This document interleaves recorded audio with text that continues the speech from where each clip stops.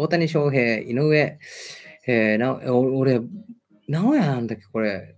ああの、ツイッターで流れてくる試合がすごいなしか思ってないから、ちょっと読み方わかんなくて思います。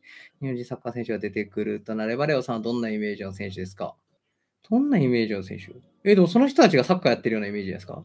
あ、だからあれだよね、足速い。だ前田大然に、あのえー、前田大然の、えー、サッカー IQ に上田綺世のスピードがついたみたいな選手だよね。逆って突っ込んでくれた人嬉しいけど、みんな罠にはまったね。僕はど逆で悪いことは言ってないです。みんながね、もう今どんどん罠にはまってるからみんな。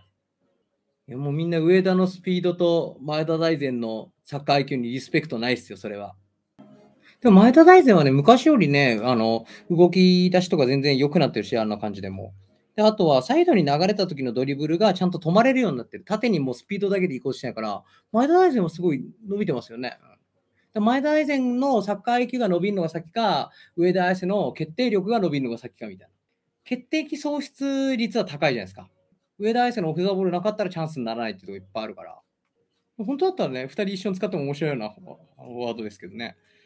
今のシステムはそうじゃないし。